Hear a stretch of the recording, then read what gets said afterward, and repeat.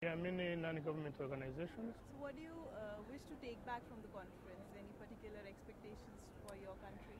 Yes. I'm hoping uh, when I go back, hopefully I'll be able to engage more men and boys in gender justice.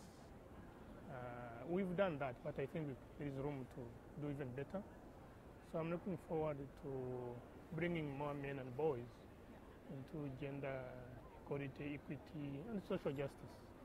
Yeah. So, how far uh, your country has worked towards like working with men and boys for gender justice? What is the scenario in your country on uh, working in, with men and boys? Yeah, I think my country has done it very well in terms of gender equity and equality, and they have deliberately brought in men as partners.